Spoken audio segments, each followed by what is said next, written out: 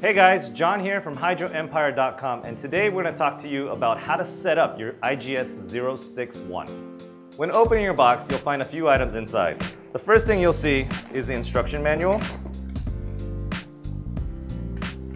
Then you got your controller with a power cord attached.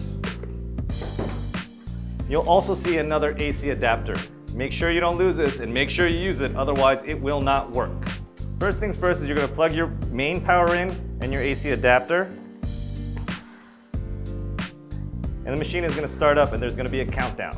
Once the countdown is done, the machine is running in its normal operating mode. And you'll see that on the screen by the number flashing. Once your 061 is running, you wanna set your CO2 set point. You do that by pressing the knob once and turning the dial to your desired amount. I like to set mine at 1500 parts per million. To learn more about this, check out our Intro to CO2 in your garden video. Next up is setting your altitude. When you're at a different altitude, your CO2 readings will be different. In order to reach that, you're gonna hold down the button when you're in your set point menu. You're gonna see A0.0. Your altitude, your altitude is gonna be divided by 1,000. So if you're at 1,000 feet in altitude, you're gonna be 1.0. One of the best things about the IGS 061 is that it has a high temp shutoff. In order to access this, you wanna go twice down on the menu and then hold it down to set your Fahrenheit or Celsius. Once you hold it down, you see Fahrenheit, you can turn the knob between Celsius to Fahrenheit, push the button again, and then you can access the temperature. I like to be around 84 as a maximum temperature in my garden, but you set it to whatever you want to be.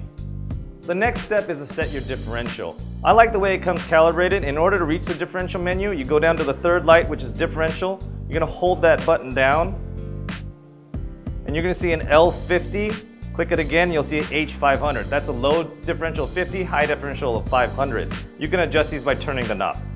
The next thing down the list is setting the operating mode. The 061 can be used in extraction or enrichment. It comes out of the box set up for enrichment, but if you need to go into extraction, light up the operating mode and turn the knob to 02. Your IGS 061 should come calibrated out of the box. But if you want to calibrate it yourself, I suggest you do it every six months to a year. You go down to operating mode, Hold it down until you see cal. Hold it down again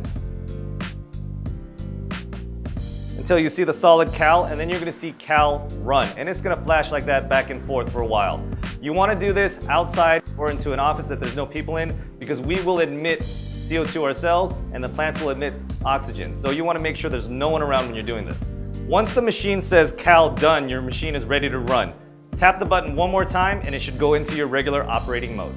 Thanks for watching guys, and remember to leave comments, like the video, and subscribe to our channel. And every comment you leave, I'll personally try to answer.